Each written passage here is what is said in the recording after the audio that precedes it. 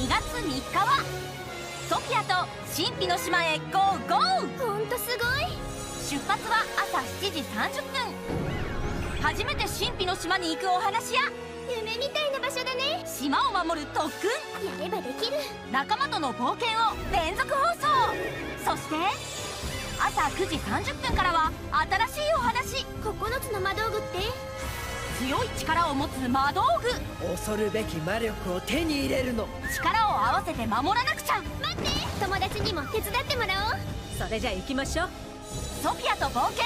ゴーゴー!神秘の島。2月3日土曜日朝7時30分から10時まで。ディズニーチャンネル